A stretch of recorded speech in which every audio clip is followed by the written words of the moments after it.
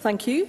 Uh, we will now move on to the final item of business, so I would ask those who are leaving the chamber to please do so quickly and quietly. And the final item of business is a members' business debate on motion 12605 in the name of Bill Kidd on 50th anniversary of the Health and Safety at Work Act, etc. Sorry, Work Etc. Act 1974. This debate will be concluded without any questions being put, and I would ask those members who would wish to speak in the debate to please press the request to speak buttons, and I call on Bill Kidd to open the debate to around seven minutes, please. Thank you very much, President Officer. now, tomorrow, across the globe, people will gather for May Day or International Workers' Day. And the day owes its origin to the labour movement of the late 19th century when workers fought for better working conditions, asking for eight hours of labour and fair wages for it. It's a day celebrated across the world uh, to promote the rights of workers and to prevent them from being exploited any further than they have been already.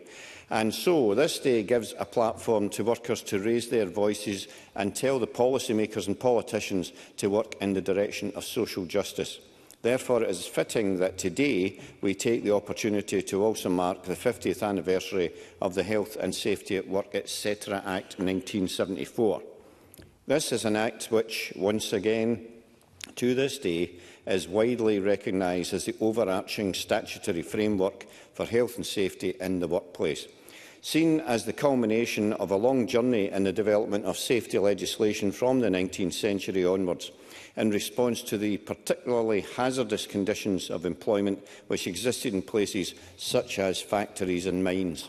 This journey was, of course, not by any means all plain sailing, but long and arduous and had to be driven on by pioneers in the field, individuals and groups driven by a sense of duty and compassion towards those without a voice individuals like Thomas Percival, alumni of Edinburgh uh, Medicine at Edinburgh University, who, alongside the instrumental part he played in developing a code of medical ethics, which included a code of conduct towards patients, whether rich or poor, he led a group of doctors to supervise and the appalling conditions which existed in textile mines at the time with their subsequent report influencing the introduction of the Health and Morals of Apprentices Act 1802, also known as the Factory Act.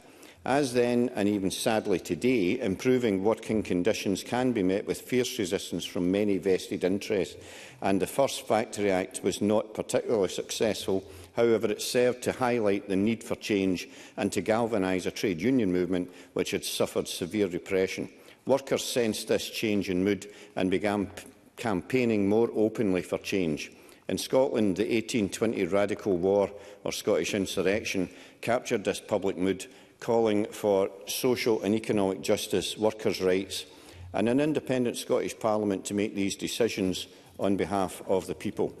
Tragically, the uprising was brutally put down by the British government and in 2001 this Parliament debated the sacrifice of the three 1820 martyrs, James Wilson from Straven, John Baird and Andrew Hardy from Glasgow, who were hanged and beheaded for their beliefs. Presiding officer, despite continued fierce resistance from those opposed to change, the sacrifices of Baird, Hardy and Wilson and the sacrifices of so many others who came after them has ensured that the march towards better working conditions has continued to this day. I'd like to take a moment to remember and thank these early pioneers, indeed martyrs, who made so much possible, but also to take a moment to thank those who have continued and continue now to dedicate their lives to improving the conditions for so many workers as we face new challenges and new threats to our rights. In 1974, 651 workers were killed at work. In 2022-23, that had been reduced to 135 workers killed while at work. In 1974, 336,722 workers were injured at work. 50 years later, that figure had dropped to 60,645. And while it can be argued that as much as any, any injury or death is a tragedy, the Health and Safety at Work Act 1974 has undoubtedly been a success. Last week, I was proud to once again sponsor the Scottish Hazards exhibition here in Parliament, and throughout my times in MSP, Scottish Hazards have provided invaluable health and safety information, advice, support and representation to many of my constituents and to so many across the country. So I echo their calls from my fellow members to signpost any inquiries they may have um, as to their experiences. As I have said, they are truly invaluable. Last year, I was also proud to bring forward another members' debate on Firefighters Memorial Day, which takes place on the 4th of May, uh, to honour the sacrifice of firefighters who have lost their lives in the line of duty.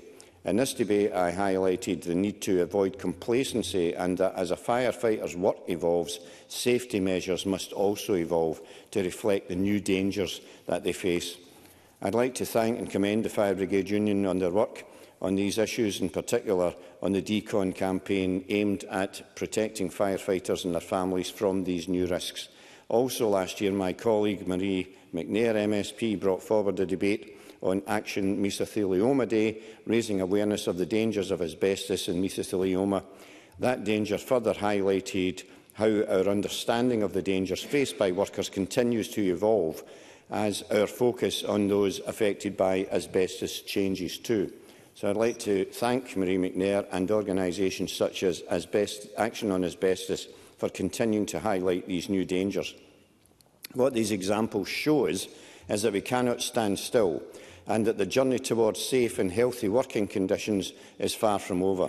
So where will this journey take us in the future? How can we ensure that health and safety responds to the needs of modern workers, that it not only protects existing rights but goes further in extending these rights? It's here I believe we need to seriously consider supporting calls for the complete devolution of health and safety and employment law. I believe that by harnessing these powers we can not only protect and improve workers' rights, but we can also use the powers to achieve so much more, creating a system that, as the Institute for Public Policy Research notes, plays a positive and enabling role in wider national priorities, including tackling child poverty. And this, presiding officer, is a journey that I hope and I believe that we can all get on board with. Thank you. Thank you, Mr Kidd. Uh, we now move to the open debate. I call Marie McNair to be followed by Jamie Halker-Johnson. Ms McNair. Thank you, Presiding Officer. Can I refer my mem uh, members to my register of interest as a member of the Trade Union Unison? My thanks to my colleague uh, Bill Kidd for bringing this important debate to the Chamber. The Health and Safety at Work Act sets out the framework for managing workplace health and safety in the UK. In 50 years ago, this piece of legislation was put in place to help prevent workplace accidents, illness and death during a time of particularly dangerous working conditions in mines and factories. Alongside the gains from increasing membership of trade unions, the Act has led to more tangible improvements in workplace conditions. It has ensured staff receive training on health and safety procedures and that a safe working environment is maintained. It has laid down extensive requirements upon employers to protect all of their employees, including temporary or casual workers, and even visitors and the general public. While still too high, it has resulted in fatal injuries to employees, falling by 73% while reported non-fatal injuries dropped by 70% between 1974 and 2007. Clybank, my hometown and part of my constituency, has a rich industrial heritage, being the hub of manufacturing and shipbuilding. For decades, workers in Clybank made a huge contribution to the economy while working in extremely dangerous conditions. For those workers, the Health and Safety Act did bring improvements to their working conditions. It saw greater protective equipment and training programmes, empowering workers to also look after themselves and others in the workplace. There is no doubt that this Act has saved lives. However, despite the massive improvements, many workers in Clydebank continued to work with asbestos, and it was only 25 years later when this was fully banned in the UK. By this time, the damage had already been done, and the effects of this can be felt to this day as those who previously worked in industries are diagnosed with asbestos-related health conditions like pleural plaques or types of cancer like mesothelioma and lung cancer. The fight continues for those affected and their families to receive justice and compensation – And that's why I spoke alongside others at Truth in Justice Square in Clybank at the weekend to mark International Workers' Memorial Day.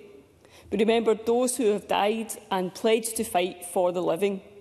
We also marked the sad passing of Bob Dickey and Hope Robertson, stalwarts of the Clydebank Asbestos Group.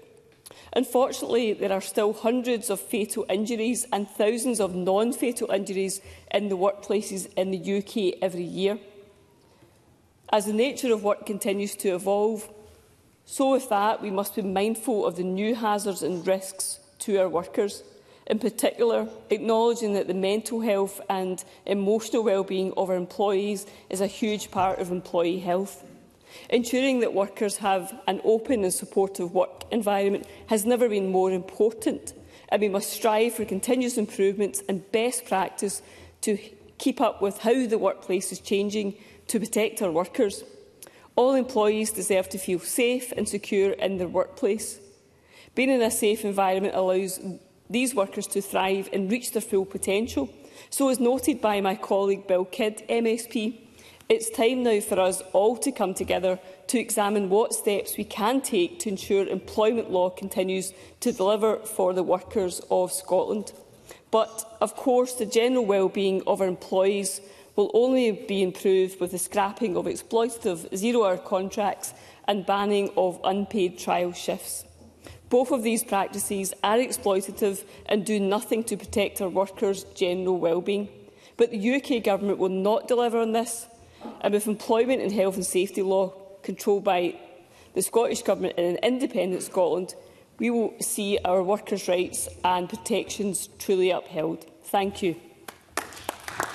Thank you, Ms McNair. I now call Jamie Halker-Johnson to be followed by Richard Leonard. Mr Halker-Johnson. Uh, thank you, Deputy Presiding Officer. Can I firstly uh, congratulate Bill Kidd uh, on bringing this debate to the Chamber and as we celebrate the 50th anniversary of the Health and Safety at Work Act 1974, it allows this Parliament to recognise the impact this legislation has had on workplace safety across the UK. The Act came out of the findings of the Robbins report and both Labour and Conservative governments can claim to have uh, developed, uh, have helped deliver it and that has, has been a success. By 2008, it was found that since the introduction of the Act, the number of fatal injuries to employees had fallen by 73%, and the rate of injuries per thousand employees fell by 76%. However, as we reflect on the undoubted achievements of the Act, we must also recognise that, unsurprisingly, the Act introduced was not the final say, and it has required further amendment to get us to where we are today. On the evening of the 6th of July 1988, the Piper Alpha platform exploded with a loss of 65 lives. The oil from the platform was piped to the Flotter Oil Terminal in Orkney, which is opposite my own home. And I remember as a child the accommodation block sitting on the dock of the terminal, the burned-out block where so many men died while at work. In 1992, the Offshore Safety Act extended the application of the Health and Safety at Work Act to secure the safety health and welfare of people on offshore installations. And there is still much to do, presiding officer. But I'd like to extend, uh, highlight some of the other areas where I recognise there is increased risk for those just doing their jobs. In the agricultural sector, and I remind members of my register of interests as a partner of a farming business, farmers and crofters often work alone. And when something goes wrong, the consequences can be extremely dangerous. And the very nature of farming means we accept the risks that we take, and sometimes we become a little too complacent on those risks. Uh, I experienced that firsthand myself when trying to free a calf from a fence. I found myself surrounded by 20 of the herd. At the time, I thought nothing of it. Of, uh, of it. While it could have been uh, more worrying, it was an everyday incident. And you'll struggle to find a farmer or crofter who won't spend a lot of their time using dangerous machinery, moving livestock, or working on the top of a building, all done on their own. That is why farming remains a profession with a high number of accidents and injuries, too often fatal. According to the Health and Safety Executive, farmers and farm, work farm workers account for 1% of all UK workers, but 18% of all worker fatalities. That's why new technologies that help increase safety are so welcome, particularly for those working alone and why initiatives like the Farm Safety Foundation's annual Farm Safety Week, which this year will be held between the 22nd and 26th. Uh, yes, of course. Emma Harper. Um, thank you very much for giving way. I wasn't intending on speaking, but like I really have a vested interest in safety on farms as well. And a few years ago, I took uh, forward a campaign about wearing helmets on quad bikes, which isn't the law, but can still save your life if you're a farmer. Would you think that's a good idea to encourage safety in quad bikes? Uh, Jamie Hawker-Johnson, through the chair, please.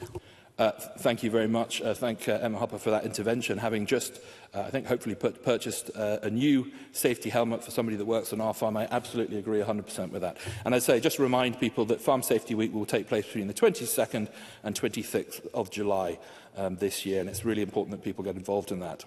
But agriculture is only one area of increased hazard, and as an islander, I'm acutely aware of the increased dangers at sea, albeit often not covered by the Act but our fishermen work in all weathers, often operating miles from land and miles from immediate help in the event of an accident. And the very nature of my region, the Highlands and Islands, creates additional challenges. Workplaces are often in remote locations where emergency assistance may be far away. And so can I take this opportunity just to briefly recognise the role of our emergency services who, when there is an accident or an incident at work, often play a huge role in ensuring a bad situation isn't uh, a fatal one. And having mentioned the dangers of working offshore in their 200th anniversary year, can I again highlight the work of the RNLI and our lifeboat crews, of whom I'm a lifelong supporter. Presiding officer, in conclusion, it is imperative that we not only celebrate the progress we've made in workplace safety, but also redouble our efforts to ensure employers and employees are aware of the law and that rules and regulations are followed, that workplace safety is taken seriously and that lives are saved because of it. Thank you. Thank you, Mr Hawker Johnson. I call Richard Leonard to be followed by Michael Chapman. Mr Leonard. Uh, Deputy Presiding Officer, can I thank Bill Kidd for bringing this important motion to Parliament uh, and can I remind members of my own voluntary register of trade union interests. It was Michael Foot who steered the Health and Safety at Work Bill through Parliament back in 1974. Kenneth O. Morgan records in his magnificent biography of Foote that he hailed it as a powerful affirmation of three great socialist principles. Three pillars essential to the ideas of democratic socialism are the words Michael Foote used in the House of Commons. It empowered ministers to give leadership. It mobilized the power of the state for a great cause – and it meant the active democratic participation of working people in their place of work. So for the first time, it bestowed on trade unions the legal right to establish safety committees, to be recognised on all matters of health and safety, and to trigger legal action to counter abuses. To left thinkers like Hillary Wainwright, it was the nearest thing we had ever seen to industrial democracy, A source of power, she said, a fusion of the industrial and the political. To trade unionists like Jack Jones of the Transport and General Workers Union, this Act of Parliament carried in defiance of anger from the CBI and opposition from the House of Lords, was, in his words, the most comprehensive legislation ever drafted covering people at work. So it is right that we mark the 50th anniversary of its enactment in this Parliament tonight. Of course, the billionaires, the millionaires and their political representatives have been trying to take our rights away.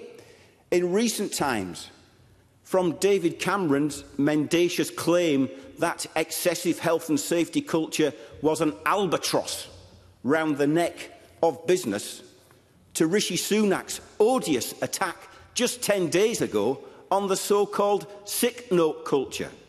Well, I've got an answer for Rishi Sunak. Start making workplaces healthier. End the long hours culture. Stop demonising disabled people and restore the NHS to a service free at the point of need, not at the end of a two-year waiting list. At the weekend, we marked International Workers' Memorial Day, where we remembered the dead but vowed to fight for the living. And that is why, half a century on from the Health and Safety Act, it's once again the Labour Party offering a new deal for working people, a repeal of anti-trade union laws, a single enforcement body with an army of inspectors, an extension of free collective bargaining, employment rights from day one, organising rights for trade unions from day one, a ban on blacklisting, and the reintroduction of civil liability for breaches of health and safety regulations. That is what I'll be campaigning for. That is what I'll be voting for in this year's general election. But finally, let me recall Labour's programme 1973, which gave birth to the Health and Safety at Work Act 1974. It begins with the solemn declaration to put the principles of democracy and socialism above consideration of privilege and market economics, and concludes with the great call of history to bring about a fundamental and irreversible shift in the balance of power in favour of working people. It's a political vision based on political principles to achieve political outcomes which are as relevant today as they were then. It is a vision These are principles and these are outcomes which I, for one, will continue to fight for in 2024. Thank you, Mr Leonard. I call Maggie Chapman to be followed by Carol Mockin. Ms Chapman. Thank you, Presiding Officer. On Sunday, on a rather wet and chilly afternoon, many of us gathered at Pursley Walled Garden in Woodside in Aberdeen, just up from the River Don, at the Workers' Memorial. We were there, as people are every year on the 28th of April, to mark International Workers' Memorial Day. We gather as workers and trade unionists to remember those who have lost their lives at work and those who are still fighting for safer conditions, better pay and improved representation in their workplaces. It is fitting then that this evening we come together to mark the 1974 legislation that underpins the legal requirements about workers' health, safety and welfare – and I thank Bill Kidd for securing this debate and refer members to my register of interests. I am a member of Unite the Union. 50 years on, much has changed. As the motion outlines, the legislation has saved lives, and we will probably never know who is still alive today because of that legislation, which children still have a mother or a father because they were not killed at work. We cannot measure the scale or importance of these laws. But still, too many workers are killed at work. Since 1974, we've seen some awful tragedies unfold where workers were killed or injured because their bosses chose to cut corners or prioritise profits over the health and well-being of their workers. In 1988, a fire that might have subsided or been put out turned into a deadly explosion that killed 165 of the 226 workers on the Piper Alpha oil platform in the North Sea. Two crewmen from an emergency rescue boat also lost their lives. These deaths were preventable. Workers on two nearby platforms, Claymore and Tartan, which pumped to Piper Alpha, could see that the platform they were pumping to was alight. But they had been told never to shut off the oil and gas they were pumping, even to a burning platform. This order caused the, death of a, the deaths of 167 people, all because the oil bosses could see no circumstance in, in which it was appropriate to stop pumping. Piper Alpha led to a transformation of how the oil and gas industry treated the safety of its North Sea installations. But such transformations should never have come at such a cost. This year, the theme for International Workers' Memorial Day was the climate crisis and workers' health. We can all appreciate the impacts of climate change on occupational health and safety – There is a substantial body of evidence that shows how more extreme weather events, the more extreme weather events we experience as a consequence of climate change exacerbate occupational risks. Heat stress, UV radiation, air pollution, increased exposure to chemicals are just some of these risks to which more and more workers are exposed more often. Like Bill Kidd, I want to recognise the work of the Fire Brigades Union the work they're doing to highlight the dangers faced by firefighters having to deal with more prevalent and more severe wildfires, or their exposure to carcinogenic chemicals in the course of their daily work. And I applaud, applaud their Decon campaign that seeks to raise an awareness of the risks of their profession, as well as secure improved training, processes and resources to keep firefighters as safe as possible while they work to save our lives. There are so many other issues I wanted to raise this evening, from the mental ill health and stress due, caused due to lack of resources to undertake roles, to e exposure to asbestos or unsafe rack. But in closing, presiding officer, while the legislation of 50 years ago has saved lives, it is clear that across so many different sectors, we still have much work to do to secure the health, safety and well-being of all of our workers. We remember the dead, and we continue to fight for the living. Thank you. Thank you, Ms Chapman. I now call Carol Mockin to be followed by Fulton McGregor. Ms Mockin. Thank you, Presiding Officer. And can I also thank Bill Kidd for bringing this important debate to the Chamber. the 50th anniversary of the Health and Safety at Work Act is, of course, worth remembering. The legacy of the Health and Safety Act is one of the absolute successes and thousands of lives saved year after year. This act, act uh, uh, sorry, this act evidences the power of proper democratic policy and a shared commitment to improving the lives of ordinary people. We should, of course, spend more time pointing out the history of these successes, as I fear at times, understandably, the public think that far too little goes on of substance in many of the parliaments across the world. This landmark piece of legislation was, as we know, a product of many years of campaigns by people from across the Labour movement and, of course, forward thinkers in the world of business that understood a safe and healthy workplace is also a productive and a prosperous one. A lesson that I, I have no doubt many gigantic corporations could do with learning once again. The figures, of course, are better, but we must remain vigilant about health and safety within the workplace. As we know, Scotland has the highest rate of workplace fatalities of any part of the UK, and this is something in this place we must keep on top of the agenda. A key thing we must tackle is to properly enforce corporate responsibility for the death of workers under their care. Now, of course, on Saturday, as many members have mentioned, many of us attended the Workers' Memorial, the local Workers' Memorial Day events. And I attended the East Ayrshire event run by the Ayrshire Trades Council. And it is those stories that people tell us about their family members that keep us all fighting. For too long, corporations with a turnover of billions fight tooth and nail to ensure that they do not have to recognise their responsibility for the deaths and injuries of workers. And even in some cases, they do everything they can to not take financial responsibility for the harms caused. That is completely unacceptable and I'm sure almost all of us in this Parliament would want to see the balance tipped in favour of ordinary hard-working people rather than those gigantic corporations with enormous profits. I completely agree with Bill Kidd's motion that it is time to see how we can build on the lessons of the Health and Safety Act and update employment law to reflect the changing world of work and the wisdom we have gathered over the years to make it work for us uh, eh, today.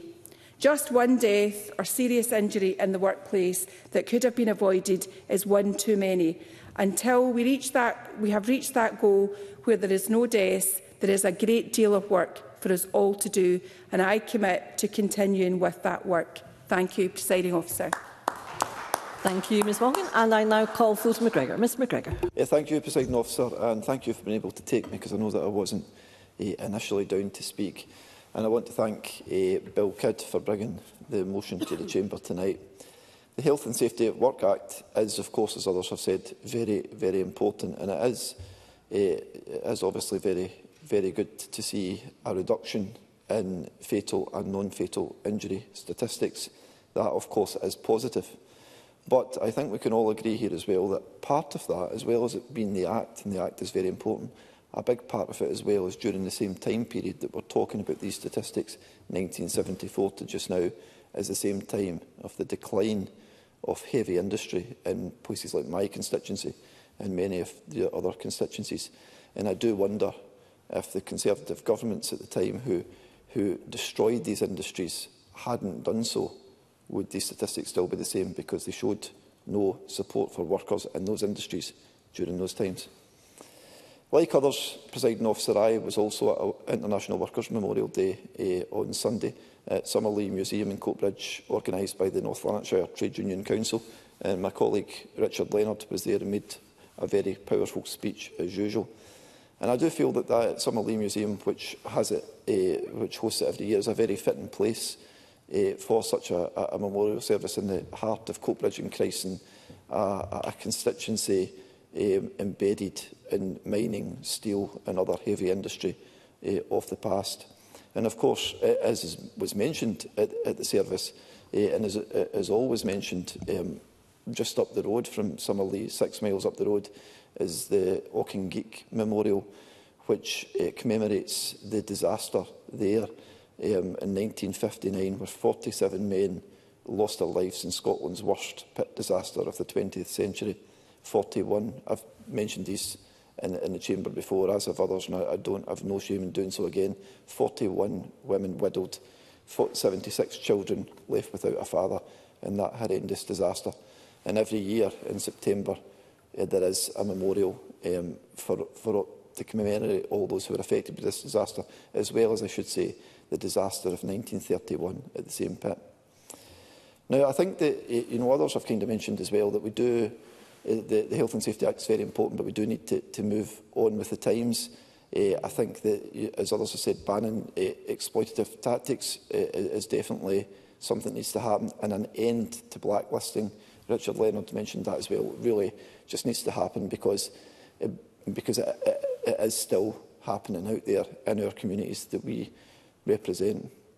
And I think as well, issues around emotional um, stress. Uh, uh in work really need to be taken more into account. This is possibly the, the, the major health issue of our day. You know, you've got people that are working in the NHS and uh, teacher jobs, uh, working in the public sector more general, the police, the fire service, we're all aware of this through our committee work and through this chamber. And, and I think the stress uh, that, that these uh, individual workers are under is as you know, is massive. And I think that we do, employers need to take even more account of that. I know there is improvements, but we, we need to see employers taking even more account of that. And on that note, uh, presiding officer, I think that my previous colleagues in social work would expect me to to finish by, by mentioning uh, the role of, of social workers in, in that particular context. And I can say, you know, having been there and worked in that uh, sector, that the caseloads are very heavy indeed, and this can lead to the long hours that others have mentioned, dealing with uh, very traumatic situations and dealing with individuals who are at their most vulnerable. Often, actually, uh, through necessity, there is lone working. Although it is discouraged, there is also lone working as well. So I, I, I would like to raise um, the point of social work in that. And the, the, the rates of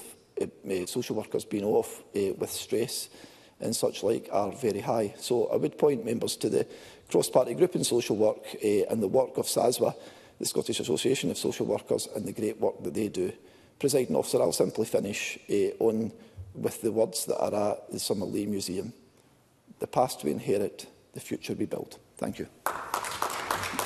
Thank you, Mr McGregor. And I would now call on Minister Gillian Martin to respond to the debate on behalf of the Scottish Government. Around seven minutes, please, Minister. Thank you, Presiding Officer. Um, today's motion and debate reflects a hugely important uh, issue that affects us all and our country. I'm very grateful to Bill Kidd for giving Parliament the opportunity to discuss it. I'm also very grateful to everyone who's spoken in the debate today and um, every speech has been incredibly powerful. Lots of the speeches have re uh, referenced incidents where the, um, the health and safety of workers has not been a priority throughout the years and I think we've always got to have that in mind when we debate this. Uh, health and safety at work is fundamental to the physical and well-being of everyone in Scotland and good working environments are obviously a key determinant of good health. Good health is essential to productive work, but mainly people have the right to go to work and to come home unharmed. Healthy working conditions are an internationally recognised human right. Yet, there are so many areas in which we can do better. There are so many countries that can do better. Um, and it is good to see, though, that the UK and Scotland as a whole has made such strides in what we have put in place with regard to legislation, but also workplace culture as well, to make sure that more, uh, more people come home to see their families at the end of the working day. Um, International Workers Memorial Day has been mentioned by so many people and it's been, it's been great to hear of the events that's been happening um, across the, the country. The point's also been made that has... Yes. Claire Adamson. Thank you, Minister. I just wanted to um, commend all those who attended ceremonies. Unfortunately, due to um, family circumstances I wasn't able to, but I did lay a wreath at the Steelworkers Memorial in my own constituency in Motherwell and Wisher to remember those from the steelworks in Motherwell. And I think it, it's another example of these ceremonies and how important it is to remember those who didn't make it home from work but fight for the future. Minister. Absolutely. It is important that we always remember those that either perished or were injured at work. And I actually commend um, Claire Adamson for the work that she does in highlighting safety in general in this place over many, many years. Um, many have made the point that it has been the selfless sacrifice of so many people who have campaigned um, because they have identified safety issues at their work often at great um, e-, expense to them in, in terms of uh, maybe going, being, uh, going up against big corporations as well. But it is the strength and the character and the, the, the, the, the, the, the brave people there that have put themselves on the line and have engendered changes to legislation and have made political change as well. Um, but also, sadly, it has also been tragedy that has pointed change to. I had already put in my notes that I did want to talk about Piper Alpha, but um, I'm following on from so many people in the Chamber that have already done so. Today, Jamie Halco-Johnson mentioned 165 uh, men uh, on, the, on the platform that, that lost their lives, and obviously the, the, the, the two and the supporting vessel, Maggie Chapman, did as well. I will never forget that, um, that night. Um, my, my own father was on a, a, platform in the Norwegian sector, but like so many people, they didn't actually know, didn't actually know where their their loved ones actually worked. They just worked offshore, and I remember the fear. Um, I was uh, obviously one of the lucky ones that um, whose, whose father was not on board that night in July uh, se um, the 7th, 1988. But I, I know some people who, who um, were affected. And um, the, is that disaster that engendered a, a health and safety culture And I think it's one of the areas of work that health and safety has probably made the biggest improvement, but by goodness, it shouldn't have taken 167 lives um, for that to, to, to be the case. Um, presiding officer, obviously health and safety is a reserve matter, and the Health and Safety Executive is responsible for enforcement across the UK It's not something this Parliament or this Government has direct control over, but I echo Bill Kidd's um, calls for health and safety legislation to be a power that comes to this place, but also employment um, uh, uh,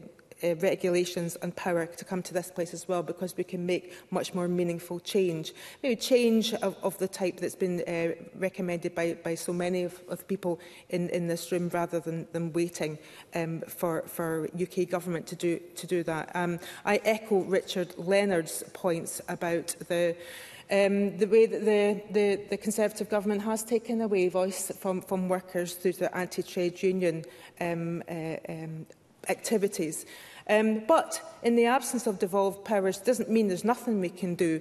Um, we reaffirm the First Minister's policy prospectus. We're committed to embedding human rights in everything we do, and the Scottish Government has long recognised the importance of health, safety and wellbeing in the workplace through our Fair Work Scotland approach.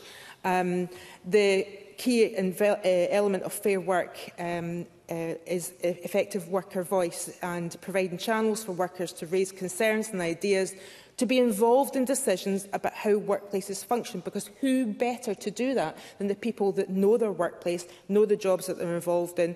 And I go back again to oil and gas, as I often do, because I work tangentially in, in that sector, is that where when people bring up health and safety concerns, they are never blamed They are never criticised. They are welcomed to highlight where things can improve. They're actively encouraged that and would be that so many other sectors would take on, on that as well. Um, I just want to um, concentrate just a, a brief remark on what was said about lone working in farms, uh, often unavo unavoidable that, that people are, are working in, in lone work, but also pay tribute to the Farm Safety Foundation or the Yellow Wellies that, that, that Jamie Halco-Johnson. But can I also add the work that the Scottish Fishermen's Federation do on safety, welfare and training as well. Very important work in a very high-risk sector indeed. Um, uh, I also want to, to, to mention uh, Marie McNair. Uh, she references conditions that shipyard workers faced in her hometown of Clydebank Um, and I want to uh, echo her tributes to Bob Dickey and Hope Robertson from the Clydebank Asbestos Group. Um, and indeed, um, support her and what she said about the banning of unpaid trial shifts as well. I think that was a very important point well made. There are people that are living not just um, uh, with, with, with, with health conditions, but disabilities as a result of their work in heavy industry. So many men have got tinnitus um, because of the lack of ear protection and that has affected the rest of their life. Now, that is a, a debilitating condition, but it, um, you, you go to industrial uh, areas of Scotland now and PPE is a standard um, and, and that would not ha have happened without the legislation that's been referenced today. Um, I just want to mention one more thing, um, uh, Presiding Officer, um, that in July 2023 we strengthened our fair work conditionality in public sector grants um, as well as, as um, um, um, the, the public sector funding, contracts and grants, um, we now require employers and receipt of grants to pay at least the living wage and provide appropriate channels for the effective workers' voice. Because all of this that we're talking about today would not have happened if there hadn't been workers been listened to. Um, and I think that that's probably the most important takeaway from today. The more you listen to workers, the better, the, the more improvements there will be to their conditions, and we will not have um, terrible tragedies like the ones that have been mentioned today. Thank you, President Officer. Thank you, Minister. That concludes the debate, and I close this meeting.